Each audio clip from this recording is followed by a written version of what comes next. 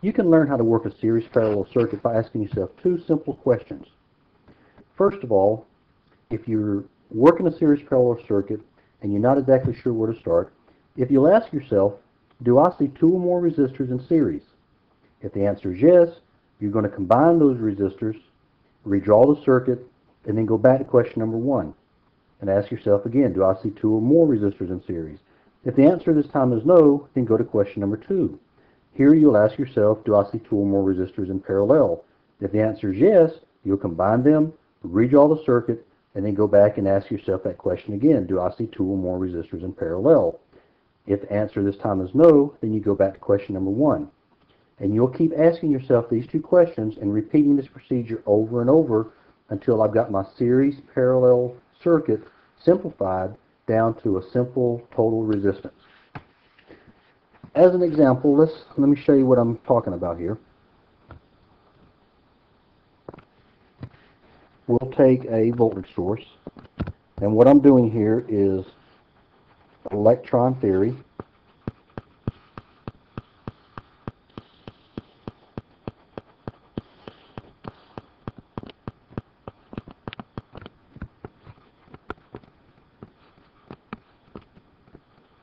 I'm not going to work with numbers right now. I just want to work with uh, basically learning how to find the total resistance of a circuit,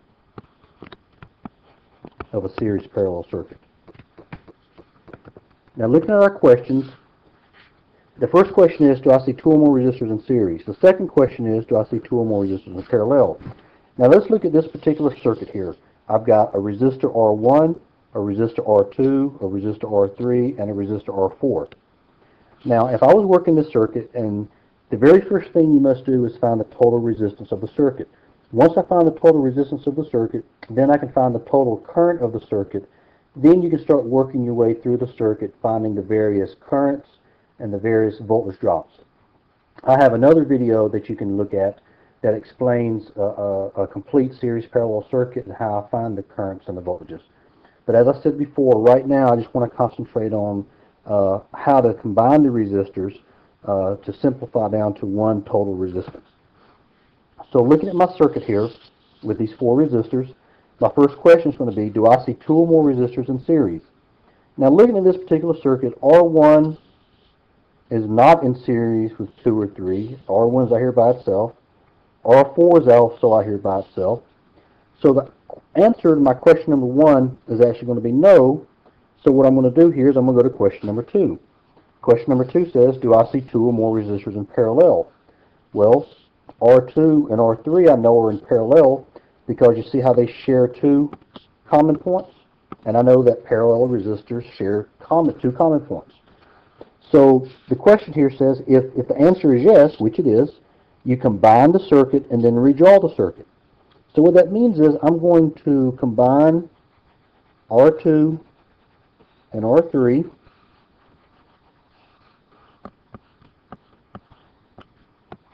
Here's R1. Here's R4. Now I'll combine R2 and R3, and if you remember the formula for parallel resistors,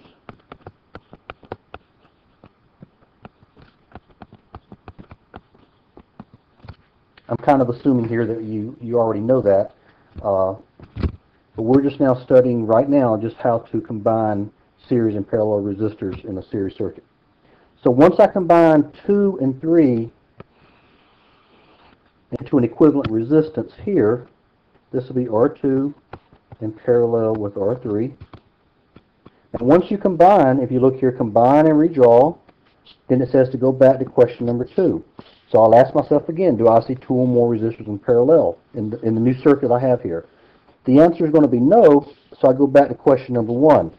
It says, ask myself, do I see two or more resistors in series? Well, looking at my redrawn circuit, I'll see that R1 now is in series with this equivalent resistance of 2 and 3, which is also in series with the equivalent resistance of R4. So in this circuit, all my resistors are in series. So I will combine them into one equivalent resistance. And this will actually equal the total resistance for the circuit. If you remember the formula for uh, series resistors is simply you add them together.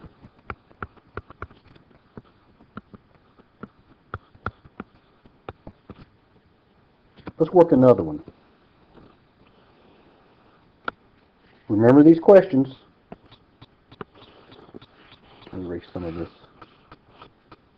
Remember our questions, two or more in series, two or more in, in parallel.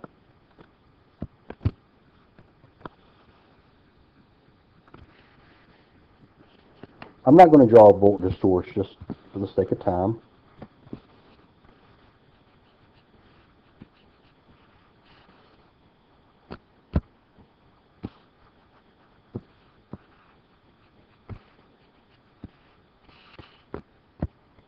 We'll make this R1, R2, R3, R4, R5, and R6. I'm going to start with the first question, and I'm going to ask myself, do I see two or more resistors in series? Well, looking at this circuit, and let me say this, when I'm talking about resistors in series, I mean this. There's no connecting point, no junction, nothing in between two resistors. So, yes, 2 and 3 are in series, and 4, 5, and 6 are also in series. So the question says, do I see two or more in series? If yes, you combine those resistors using the series resistor formula, then you redraw the circuit. When I redraw this circuit, this will be R1, this right here will be R2 in series with R3. And this resistance is going to represent R4 in series with R5 in series with R6. So what I'll do now is I'll go back to question number one and ask myself, do I see two or more resistors in series? In this particular circuit, no, there are not two or more resistors in series. So I go to question number two. Do I see two or more resistors in parallel? Well, I sure do. Remember, this resistance here we found by combining these two in series. This resistance we found by combining these three in, in series. Now these two are in parallel.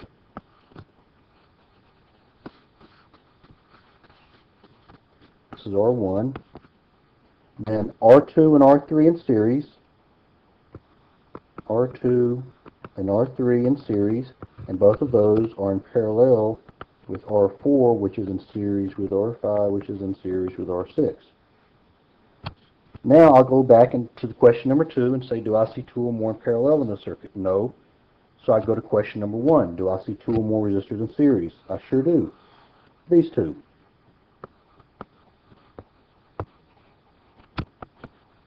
So when I take R1 and add to this equivalent resistance here, I'll get the total resistance for the circuit. Remember our questions. Do I see two or more in series? Do I see two or more in parallel? Let's try one more.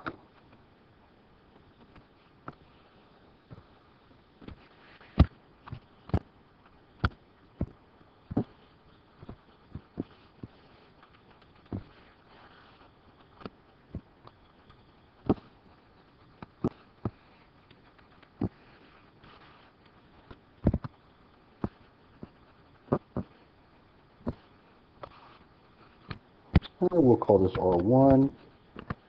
R2, R3, R4, R5, and R6. Remember our questions. Do I see two or more in series? Do I see two or more in parallel? First question, do I see two or more in series? Well, let's see. Yep, 5 and 6 are in series. Now, 3 and 4 are not in series. Remember, series resistors are going to look like that. I'm sorry, are going to look like that.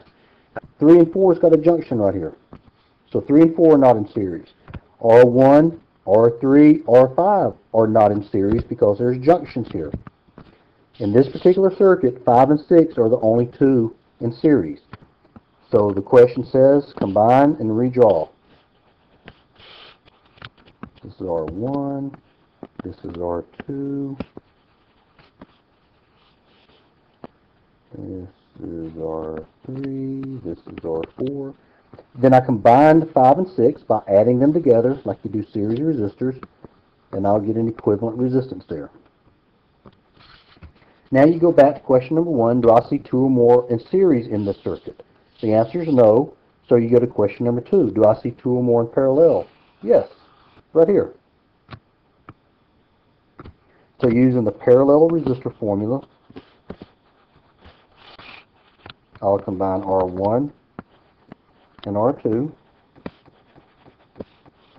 I'm sorry, I'll bring them down, I didn't mean combine. This is R3. Now I combined R4 and this equivalent resistance, and you'll get another equivalent resistance here. And then I go back and ask myself, do I see two or more in parallel in this circuit? The answer is no. This R2 and this equivalent resistance are not in parallel because R3 is in between them. So I'll go to question number one. Do I see two or more in series? I sure do, right here. So I'll combine. This will be R1, this is R2, and then when I combine R3 and that equivalent resistance, I'll get yet another equivalent resistance. Then I ask myself the next question, do I see two or more in parallel? I sure do.